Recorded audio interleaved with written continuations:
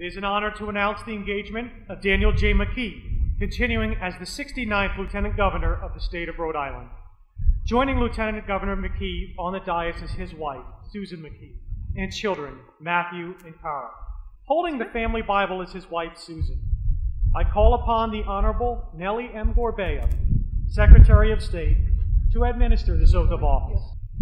You, being by the free vote of the electors of the state of Rhode Island and Providence Plantations, elected unto the place of Lieutenant Governor, do solemnly swear to be true and faithful unto this state and to support the Constitution of this state and of the United States, that you will faithfully and impartially discharge all the duties of your aforesaid office to the best of your abilities, according to law, so help you God. I do. Congratulations. Thank you, Nellie. Thanks, Cara.